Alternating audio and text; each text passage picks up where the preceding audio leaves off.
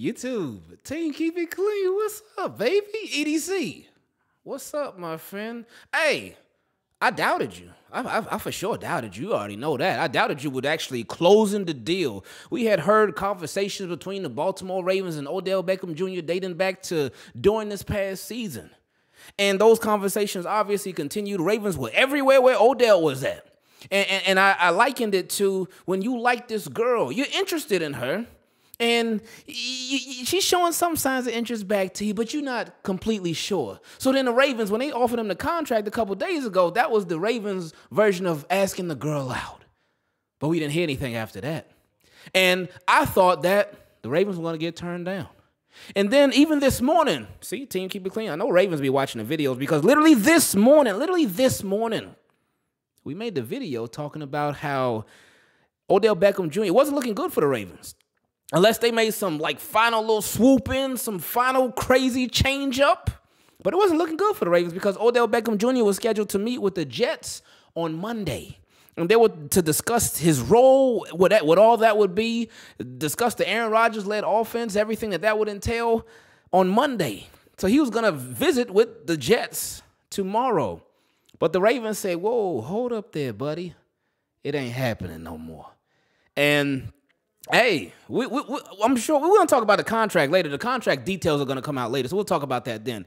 Before we get into this, make sure y'all subscribe to the channel. I love y'all. This is a reason for celebration. Again, this shouldn't be it. This shouldn't be it, but this is a good start. We talked about a couple days ago how the Ravens, they were starting to, it seemed like they were starting to make a serious change Seemed like they were headed in the, the, the right direction when it came to this whole wide receiver thing with their significant interest, how serious they were interested in Odell Beckham Jr. But me, like a lot of other Ravens fans, we thought that this was going to end in another heartbreaking fashion. We, we thought we were going to get the message that said the Ravens made a competitive offer, but Odell Beckham Jr. chose to sign with the Jets. That's what a lot of us were expecting. And if you weren't expecting that, then hey, kudos to you. But me and a lot of us were expecting that. We did not expect this to end with Odell Beckham Jr. signs with the Baltimore Ravens. What? That's crazy. But I like it. Now, um, we know the, the the contract, we don't know the details of it all. We just know it's a one-year deal worth up to $18 million. Now, I know initially that sounds crazy, right? Odell Beckham Jr. coming off the surgery. He ain't played in a whole year, but he got a one year deal worth up to $18 million. Oh my goodness, Ravens, are you crazy? Holy overpay. Now, get this something that we've been talking about for years on here with the Baltimore Ravens. Now, we know it's, it's not a one year, $18 million deal. That's not it. The, we're going to find out what the, the base of the contract is, what the guaranteed money is. If I had to guess, I'm gonna guess like eight, nine mil. Uh, it's not gonna be no 15 mil guaranteed. I, I can't see that. There's gonna be a lot of not likely to be earned incentives placed in this contract to where it's gonna be really hard to get that 18 mil. Now, something, whatever the contract is, I'm sure this contract is probably gonna be more than what the Jets would be willing to pay him. And I, I, I would even, I'm not a betting man at all. But I would think that this contract would even be significantly more than what the Jets were going to pay him if they would have got him. Because the Baltimore Ravens, since we know that's not a place where receivers go to thrive, that's not a place where the receivers go and flourish, it's a place where receivers' careers go to die. We've seen it time and time again. So, in order for the Ravens to attract an attractive receiver, they're going to have to spend a little more money than somebody else would. Remember the Jaguars last year? The Jaguar, everybody laughing at the Jaguars. Oh man, they paid Christian Kirk all that money. Jaguars literally reset the entire market, but they had to. They had to. They paid uh, Christian Kirk all that money. They paid Zay Jones all that money. But guess what? Both of them balled out for him. But they had to do that because while Jacksonville, Florida, Florida period is a lovely place to live, it'd be a lovely place to play. The team has it just hadn't been good for a while now. They hadn't been good for a while. So if the Jaguars were going to attract an attractive free agent, they were going to have to spend a little extra money. And they did that, and it paid off for them in a major way.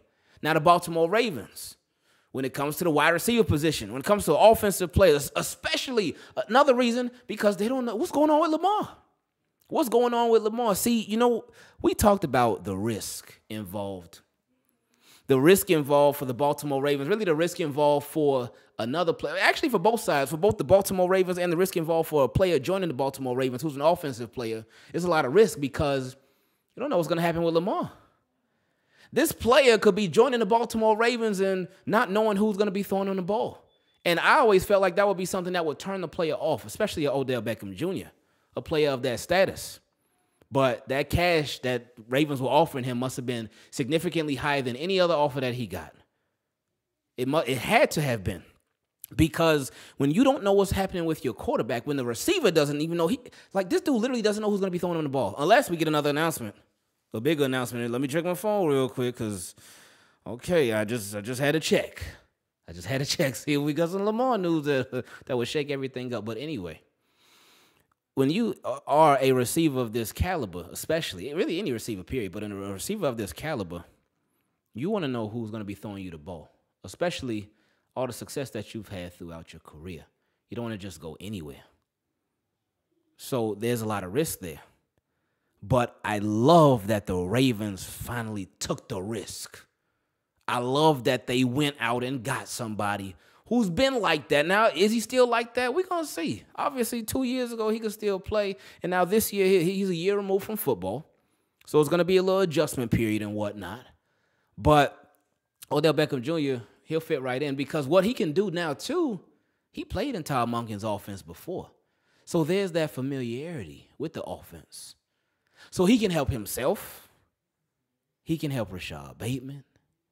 He can help Nelson Agholor. He can help Devin Duvernay if he's still going to be with the team. He can help Tylan Wallace if he's still going to be with the team. He can help James Proche if he's still going to be with the team. And I don't say if they, those guys are still going to be with the team jokingly because they seriously now now things are really in jeopardy. I always thought things were in jeopardy for James Proche even before they added Nelson Agholor, before they added Odell Beckham Jr. Because I just I don't see the Ravens having him on the roster, unfortunately.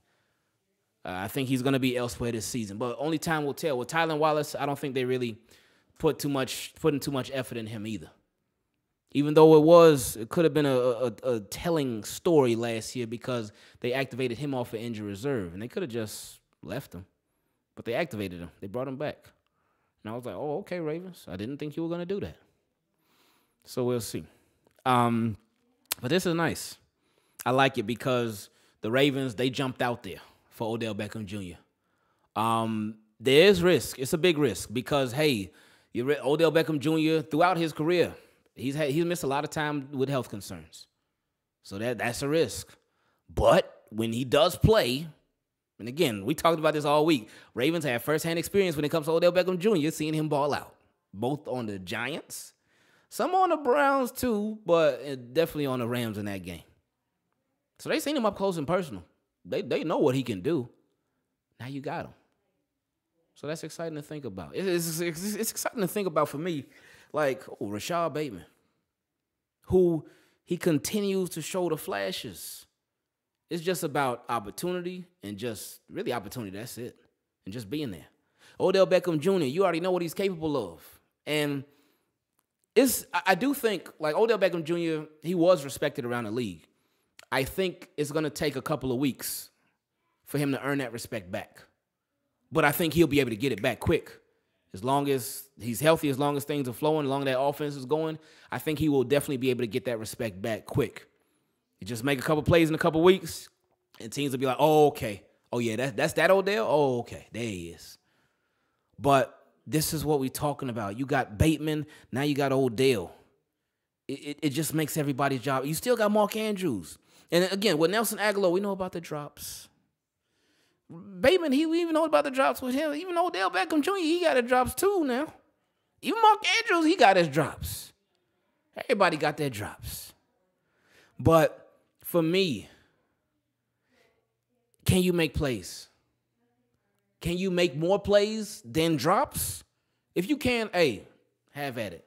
Every receiver ain't gonna catch every single ball that there is, unless you Larry Fitzgerald. Only him. But as long as you make a lot more plays than you dropping the ball, that's the most important thing.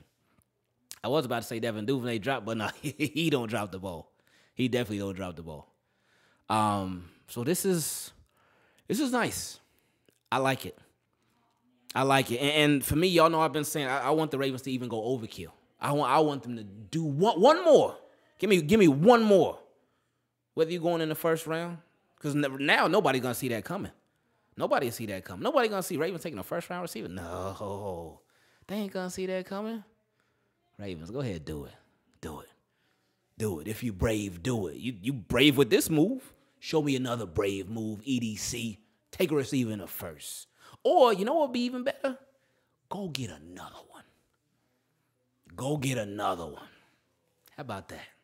Go get another receiver that's like that. Now, okay, yeah, it probably ain't gonna be no uh Oh my gosh. Okay.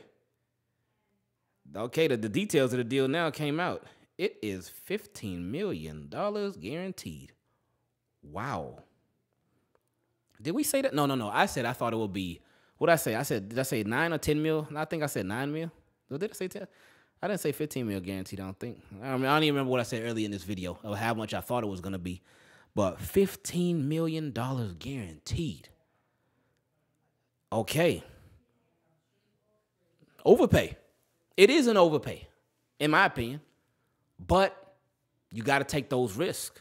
If you if you are a team, and I now and I can get why people will be frustrated with the with the money part. But if you are a team with the Ravens' reputation at wide receiver, you have to overpay. You got no choice. Because don't nobody want to come there. And then again, like we said earlier, the Lamar situation. Who would want to come there not knowing who's throwing them the ball? You gotta overpay because of those two things. You have to. You got no choice. So did the Ravens overpay? In my opinion, yes, they did. But they, they had to if they really wanted them. But finally, even though I know this is not the top guy, but finally, the Ravens closed the deal on a significant wide receiver.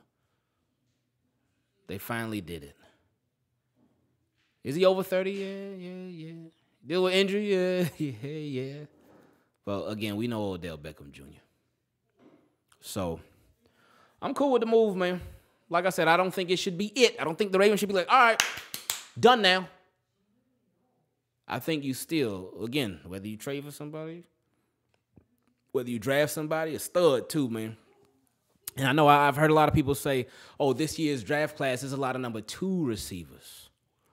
Okay. Okay. Hey, can those number two receivers make plays? If they can, hey, I'm all for it.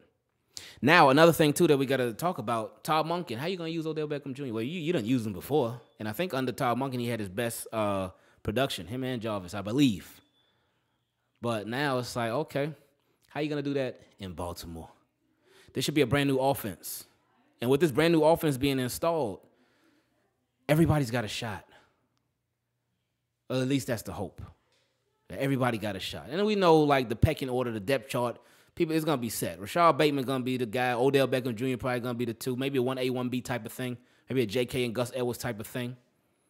Then Nelson Agholor on the slot, Devin Duvernay still there, and then after that, it's question marks.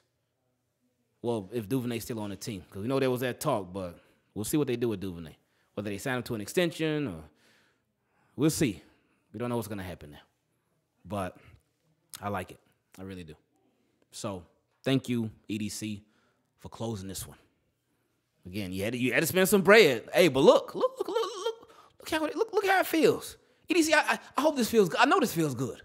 I know it feels a little weird. I know it feels a little awkward to, to spend some money like this on offense. I know, I know, yeah, I know it's weird. I know it's weird. I, no, no, no, not even to spend this money on offense because obviously Ronnie Stanley got paid. Obviously, the Pat Ricard got paid for a fullback.